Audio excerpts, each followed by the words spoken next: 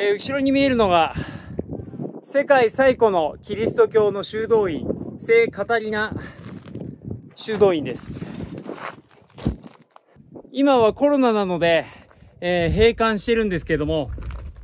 通常ですと中に入ることができます。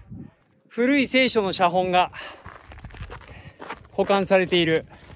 非常にこう歴史的にも重要な、そのような場所ですね。宗教的にも、また重要な、モーセが10回受けたそのシナイ山の麓にある修道院でもありますし、世界最古の修道院でもありますし、また考古学上的にも、神学的にも、非常に重要な修道院です。